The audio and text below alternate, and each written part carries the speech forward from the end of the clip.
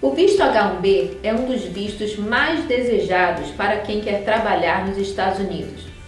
Assista esse vídeo e conheça um pouco mais sobre essa possibilidade. Eu sou Patrícia Perissé, advogada de imigração nos Estados Unidos, e seja bem-vindo ao canal Minuto da Imigração.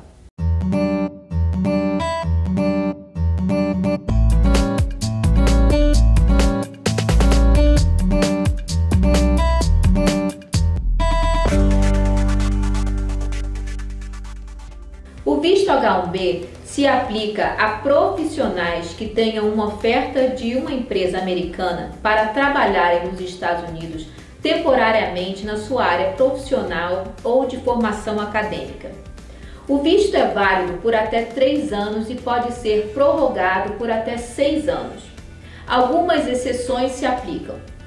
O visto H1B é um visto de dupla intenção, o que significa que você pode aplicar para outro visto que te levará ao brincar sem ter que deixar os Estados Unidos.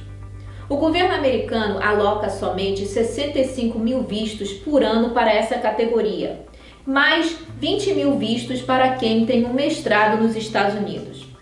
Há maneiras de fugir do limite do número de vistos, como por exemplo, conseguindo um emprego em uma universidade sem fins lucrativos.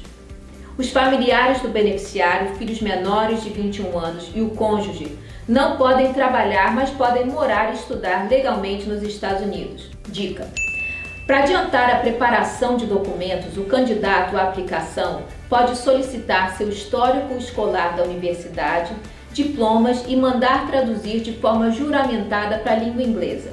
Essa explicação é simplificada. Converse com um advogado de imigração sobre o seu caso.